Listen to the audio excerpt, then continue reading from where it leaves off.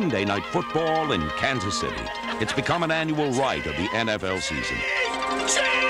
This is prime time. This is it. Monday night football with the Raiders. Couldn't have it another way.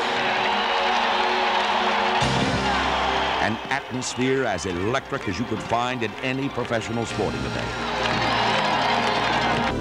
It's at wide receiver where this administration's talent for tapping talent really stands out. Plan B free agent Tony Hargain. 1990s fourth round pick Fred Jones. Tim Barnett, a third round pick a year later. J.J. Birden, a free agent.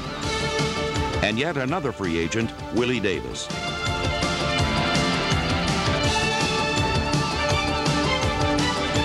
All Davis did in his first season was lead the NFL in yards per catch with a 21-yard average.